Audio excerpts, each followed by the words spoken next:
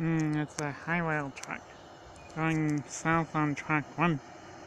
Track two, I mean, sorry. uh, no.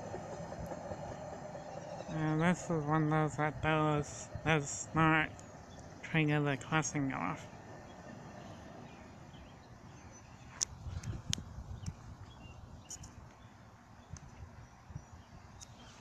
And there is a train coming south on track one.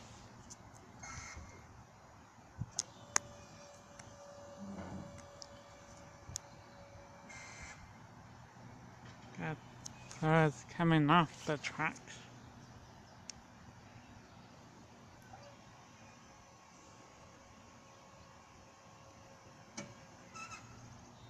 And now it's a regular truck again.